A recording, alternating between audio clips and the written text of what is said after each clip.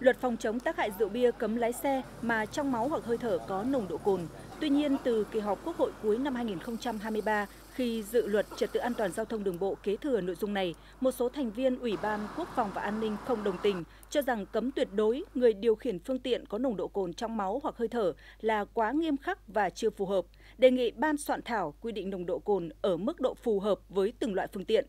Trong văn bản giải trình một số nội dung mới của dự luật, cơ quan soạn thảo là Bộ Công an bảo lưu quan điểm quy định nồng độ cồn bằng không khi điều khiển phương tiện để giúp người lái xe tránh tình trạng bị ép uống rượu. Theo dự kiến, đại biểu Quốc hội sẽ bỏ phiếu biểu quyết riêng một điều khoản về vấn đề này khi thông qua dự luật trật tự an toàn giao thông đường bộ. Quốc hội sẽ biểu quyết thông qua luật trật tự an toàn giao thông đường bộ ngày 26 tháng 6 tới.